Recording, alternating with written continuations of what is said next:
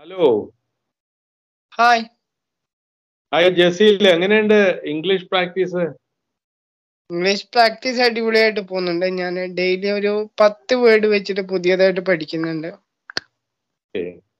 ഞാൻ ഇന്ന് കുറച്ച് ഗ്രാമർ പറഞ്ഞു തരട്ടെ? ആ പറഞ്ഞു. നമ്മൾ പുതിയതായിട്ട് ഒരാളെ കണ്ടാൽ ആ ആളോട് എങ്ങനെ ചോദിക്കും? നിങ്ങൾ ഇംഗ്ലീഷ് സംസാരിക്കുമോ? എങ്ങനെ ചോദിക്കും? You will talk you English അല്ല ഞാൻ പറഞ്ഞു തരാം ഇങ്ങനെയാണ് ഡു യു സ്പീക്ക് ഇംഗ്ലീഷ് എന്നാണ് ചോദിക്കേണ്ടത്. ഒന്ന് പറഞ്ഞേ. ഡു യു സ്പീക്ക് ഇംഗ്ലീഷ് വളരെ സിമ്പിൾ അല്ലേ? വളരെ സിമ്പിൾ ആണ്.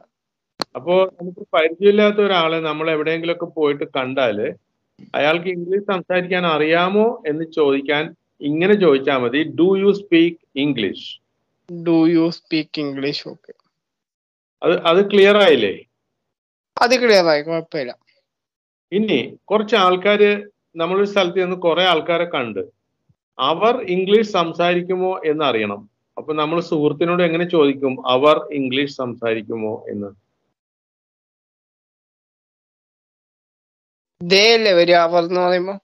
അത്രേ ഉള്ളു അത്രേ ഉള്ളു. കറക്റ്റ് ആണ്. ആ യു അങ്ങോട്ട് മാറ്റിയിട്ട് ദേ ആക്കിയാൽ മതി. സ്പീക്ക് ഇംഗ്ലീഷ് എന്ന് ആദ്യം ഞാൻ പറഞ്ഞു തന്നല്ലോ അവിടെ യു മാറ്റിയിട്ട്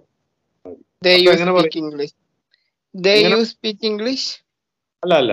Do they speak English do ആദ്യം ഡു ദേ സ്പീക്ക് ഇംഗ്ലീഷ് അവർ ഇംഗ്ലീഷ് സംസാരിക്കുമോ എന്ന് ചോദിക്കാൻ ഡു ദേ സ്പീക്ക് ഇംഗ്ലീഷ് എന്ന് ചോദിച്ചു do they speak English okay ആ do they speak English do they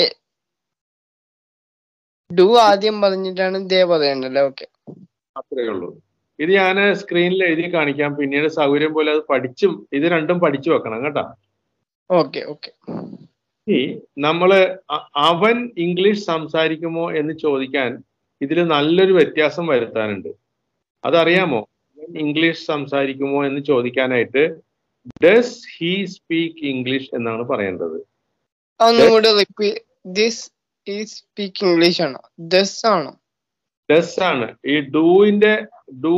does മൂന്ന് ഫോം ഉണ്ടല്ലോ. അതിൽ രണ്ടാമത്തെ ഫോം ഉപയോഗിക്കേണ്ടത്. അവൻ ഇംഗ്ലീഷ് സംസാരിക്കുമോ എന്ന് ചോദിക്കണമെങ്കിൽ ഡു അല്ല ഡസ് ഹി സ്പീക്ക് ഇംഗ്ലീഷ് എന്ന് പറയണം. സ്പീക്ക് ഇംഗ്ലീഷ് ഓക്കെ പിടികിട്ടിയാ? പിടിയിട്ട് കാരണം ഇത് ഓൾറെഡി സുധീഷ് സാർ ഇന്ന് ക്ലാസ് എടുത്തായിരുന്നു. ഇതിനെ കുറിച്ച് എക്സ്പ്ലെയിൻ ചെയ്തിട്ടുണ്ടായിരുന്നു. മൂന്ന് മണിയുടെ ക്ലാസ്സിൽ ഓക്കെ അങ്ങനെയാണെങ്കിൽ അവൻ എന്നുള്ള സ്ഥാനത്ത് അവളാണ് വരുന്നതെങ്കിലാ? അതെങ്ങനെ ചോദിക്കും? ഷീ അപ്പൊ അതെങ്ങനെ ചോദിക്കും? സെന്റൻസ് ആയിട്ട് ചോദിച്ചേ. ഷീ യു സ്പീക്ക് ഇംഗ്ലീഷ് അല്ല does she speak English okay okay തരാം. ഞാൻ സ്ക്രീനിൽ എഴുതി കാണിക്കാം. പിന്നീട് അത് നോക്കിയാൽ മതി. Does she speak English does she speak English speak English അത്രേ ഉള്ളൂ അത്രേ ഉള്ളൂ. ഈ നമ്മൾ ഇന്ന് നാല് ഐറ്റംസ് പഠിച്ച് നാലും കൂടി ഞാൻ ഒരുമിച്ച് പറയാം. നിങ്ങൾ ഇംഗ്ലീഷ് സംസാരിക്കുമോ എന്ന് ചോദിക്കാൻ do you speak English do you speak English രണ്ടാമത്തേത് അവർ ഇംഗ്ലീഷ് സംസാരിക്കുമോ എന്നറിയാൻ ഡു ദേ സ്പീക്ക് ഇംഗ്ലീഷ് പറഞ്ഞു.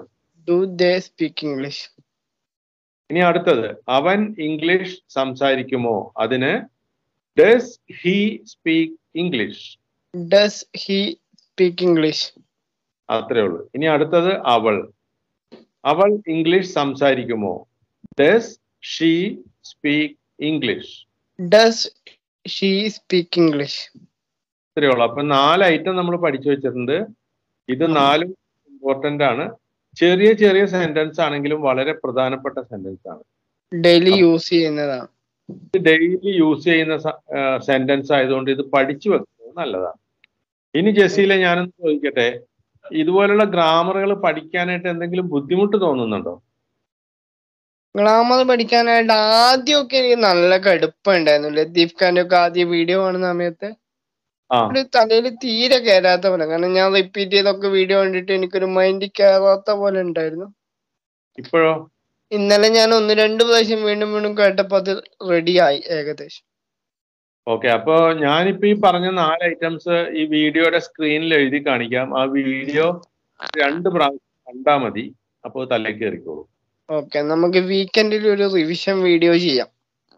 അത് ഐഡിയ ആണ് ഓക്കെ പിന്നെ അധികം ഗ്രാമർ ഒരുമിച്ച് പറഞ്ഞു തന്നാൽ നമുക്കത് തലയിൽ കയറൂല അത് അതുകൊണ്ട് ഞാൻ കുറേച്ചെ കുറേച്ചെ പറഞ്ഞു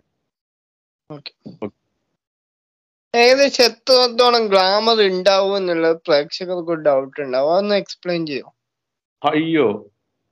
ജസീലെ നമ്മൾ പറയുമ്പോ ഗ്രാമർ എന്ന് നല്ല തെളിച്ച് പറയണം. G R A M M A R grammar എന്ന് തന്നെ പറയണം. ഗ്രാമറിന്റെ സ്പെല്ലിംഗും നമ്മൾ പഠിക്കണം. ഞാൻ ഒന്ന് പറയാം. G R A M M A R grammar G R A A M M R അല്ലേ ഗ്ലാമർ? അല്ല അല്ല തെറ്റിക്കരുത്. ഞാൻ ഒന്നുകൂടെ പറയാം. G R A M M A R grammar.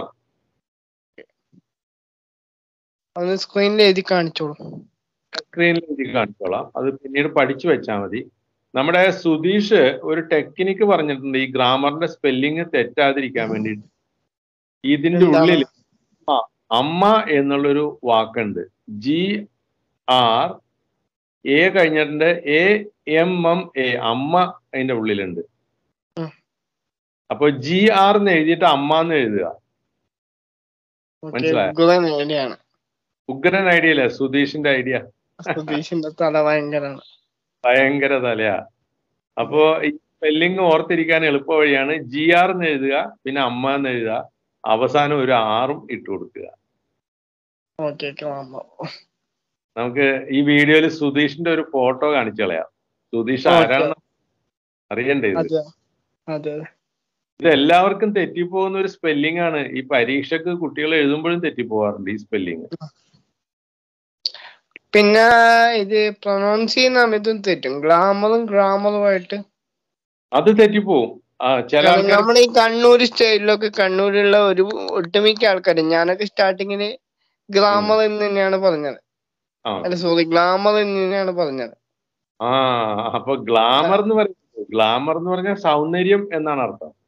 അല്ല അത് സ്ലാങ്ങിന്റെ ഒരു വ്യത്യാസമാണ് അത് അതെ അതെ. അതെ അപ്പോ അത് നമ്മൾ പ്രൊനൗൺസ് ചെയ്യാനായിട്ട് പഠിക്കണം. ഇങ്ങനെയാണ് ഗ്രാ ഗ്രാ. ഒരു വൺ ഗ്രാം ഗ്രാ. പത്ത് ഗ്രാം നൂറ് ഗ്രാം എന്ന് പറയുന്ന ഗ്രായാണ് ഉപയോഗിക്കേണ്ടത്. ഗ്രാം. ഗ്രാമർ. ഓക്കെ. അപ്പൊ നമുക്ക് പതുക്കെ പതുക്കെ ഗ്രാമർ പഠിക്കാം. പിന്നെ ജസീൽ ചോദിച്ചല്ലേ ഈ ഗ്രാമർ എത്ര ഉണ്ടെന്ന് ചോദിച്ചാൽ ഇതിന് അളവില്ല. അളവില്ലാത്ത അത്രയും അധികം ഗ്രാമർ ഉണ്ട്. ഗ്രാമർ എന്നാ പിന്നെ നമുക്ക് ഇന്നത്തെ ഈ ഗ്രാമർ ക്ലാസ് ഇവിടെ അവസാനിപ്പിക്കാം. ഓക്കെ അവസാനിപ്പിക്കാം.